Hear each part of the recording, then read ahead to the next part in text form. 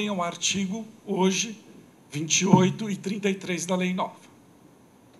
Antes de enfrentar essa dicotomia, eu vou focar no artigo 28 e no que ele alterou ao seu correspondente revogado e anterior, artigo 16. O artigo 16 dizia mais ou menos assim: adquirir, guardar ou trazer consigo, eu usava a expressão entorpecente, para uso próprio. É, notem que a expressão entorpecente, que é o objeto material da lei, não é? a conduta se recaía sobre a substância entorpecente, essa expressão ela é alterada na lei nova que usa droga.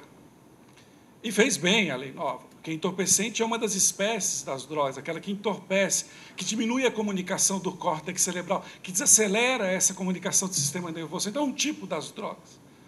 É, a lei nova usou o termo droga, da qual substância entorpecente é espécie, que também não deixa de ser uma expressão equívoca.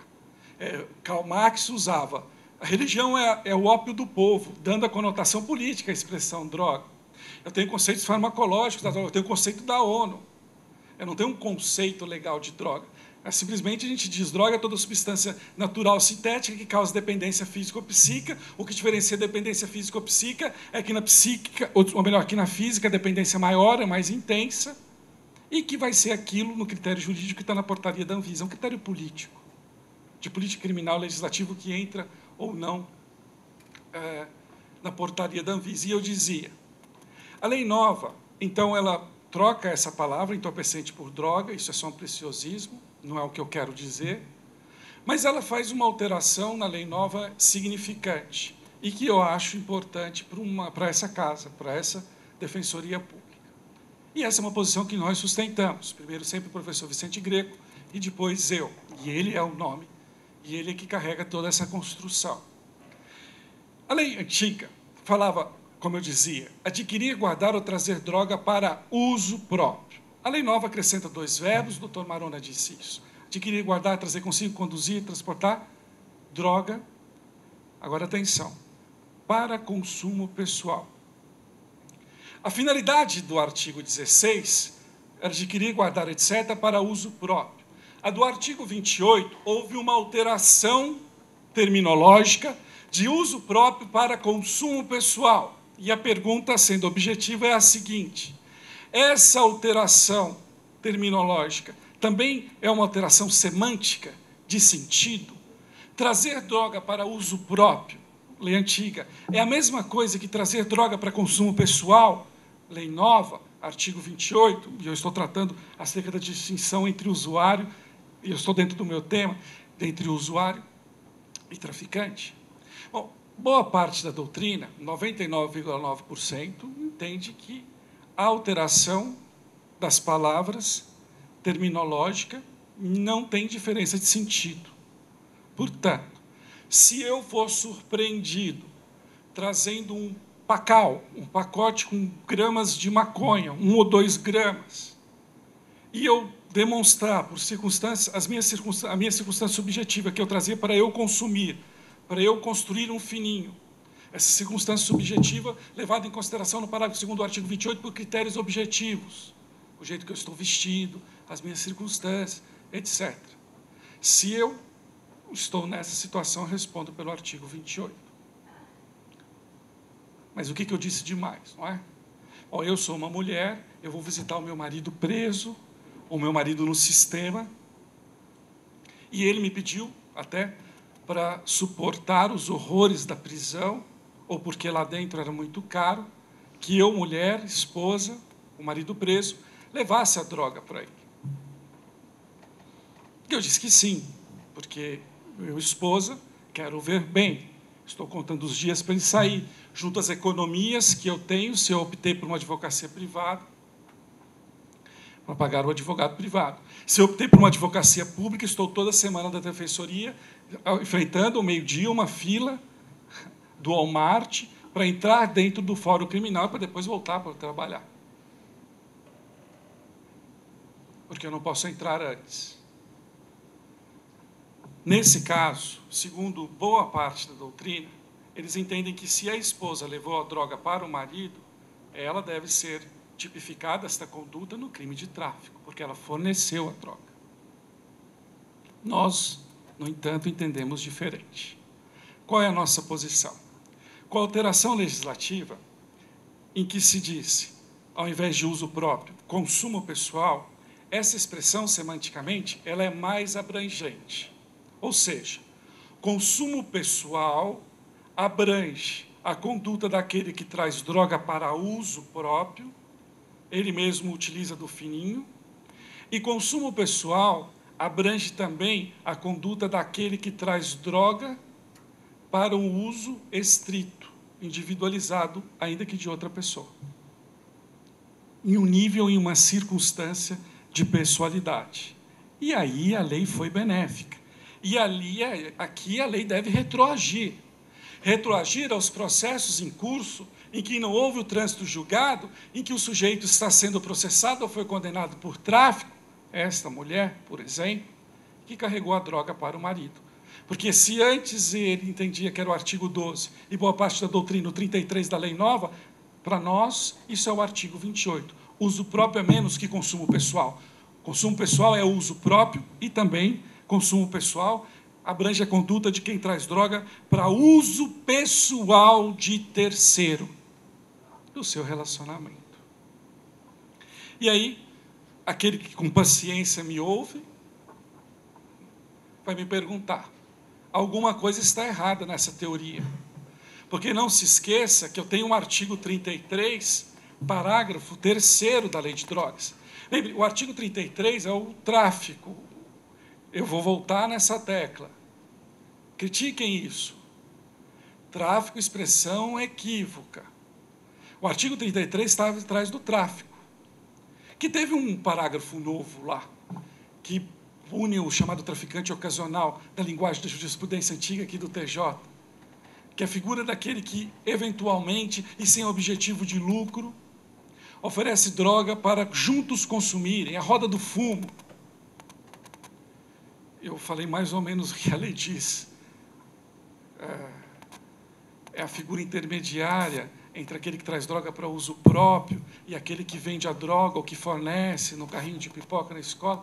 O parágrafo terceiro, que tem uma pena muito mais branda, pode ser chamado, na natureza jurídica, de figura privilegiada do tráfico. Então, quando ele diz oferecer droga, eventualmente, sem objetivo de lucro para a pessoa do seu relacionamento, para juntos consumir. Eu tenho circunstâncias subjetivas, tenho circunstâncias objetivas. Oferecer droga com o fim de consumir conjuntamente. Olha a circunstância objetiva. A pessoa do seu relacionamento. Isso é uma figura privilegiada do tráfico. Então o senhor vai me perguntar qual é a diferença entre a interpretação que vocês dão, que nós damos, do artigo 28, na figura do consumo pessoal abrangente, abrangente porque abrange uso próprio e também uso pessoal de terceira pessoa. Qual é a diferença dessa interpretação para, do outro lado, o parágrafo 3 do artigo 33, que diz oferecer droga, eventualmente sem objetivo de lucro, para pessoas se relacionamento para juntos consumir. Qual é a diferença? Há um, há um sentido, sem ser muito teórico, nós entendemos que há sim essa diferença, essa diferença ela existe até na punição do injusto típico, sem querer ser teórico. Porque sempre a visão do legislador, da política criminal legislativa, em relação às drogas, que o doutor Marona diz, que é crime de perigo abstrato, porque quer evitar que se alastre o tráfico, esse mal que ganhe rebanhos, e julgados citam isso, novas ovelhas para o rebanho, sempre é o ânimo de difundir, de propagar o vício. É sempre esse o conteúdo de injusto dos julgados que, que eu analiso, na minha opinião, tudo que eu estou falando, na minha opinião. Agora, tem liberdade. Nesse caso, a interpretação que nós demos, ela se sustenta. Por quê? Olha esse conteúdo do injusto, que é o ânimo de difundir, como ele é menor quando a esposa leva a droga para o marido na prisão. E como ele é diferente, ele é maior, e ele é punido maior mesmo, de forma maior. No parágrafo terceiro, quando eu ofereço, e aí está a distinção do verbo oferecer, que eu não tenho no 28, eu ofereço droga para consumir conjuntamente a uma pessoa do meu relacionamento. Então, o parágrafo terceiro se sustenta com o artigo 28 com a nossa interpretação. O ânimo de difundir é muito maior no parágrafo terceiro. E ele é menor no artigo 28. E tem lógica. porque ele pune de forma mais branda no artigo 28 e de forma mais rigorosa uh, no artigo 33, parágrafo 3. Esse é um ponto para crítica, esse é um ponto para discussão, que eu achei importante, sempre falando de forma residual, eu sempre ressalto isso. Doutor Marona estuda esse tema muito mais tempo que eu. E, obviamente, tem muito mais a dizer. E, de forma residual, eu queria acrescentar um outro ponto que me chama a atenção. A punição do uso. Eu vou voltar nisso.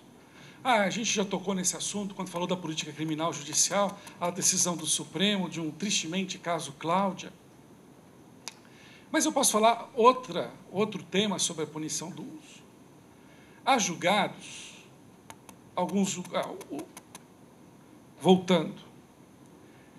A Lei 11.343 é a nossa última lei de drogas, de 2006. Desculpe, porque às vezes eu falo rápido que eu tenho uma espécie de epilepsia nem, nem eu me entendo, então vamos com calma, não é isso? Eu poderia ter tomado alguma substância lícita que diminuísse a comunicação do córtex cerebral, uma maracujina, por exemplo, que faria, fez falta agora. Então eu volto, retomo. E olhem só, a, a punição das drogas, ela veio no Código Penal, no artigo 281, nosso Código de Hungria. Veja que até a década de 70, em São Paulo, no Bom Retiro, havia o Clube do Ópio, a, a semelhança de Paris, em que executivos se reuniam para tratar de negócios, de business, porque o ópio era uma substância lícita. E não, é, não faz muito tempo, eu estou falando Bom Retiro, São Paulo. Olha o caráter político da punição, e aí vocês vão estudar as guerras do ópio, o imperialismo inglês e etc. Eu falo etc. não porque eu tenho pouco caso com o tema, que aliás é o que eu mais gosto. É porque eu quero segurar a popularidade da, da palestra. Em outras palavras, a punição do 281 ela era de forma igualitária para o traficante e para o usuário. Isso foi alterado por um decreto, porque eles entendiam que era injusto punir de, da mesma forma o traficante e o usuário. Sempre o conteúdo do injusto. O traficante está difundindo o uso, o usuário não. Mas a punição era igual, pessoal. Como era na Itália.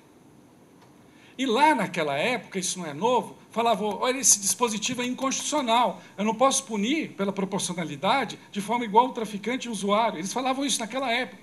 A Suprema Corte Italiana rechaçava essa tese. O Supremo no Brasil, igual.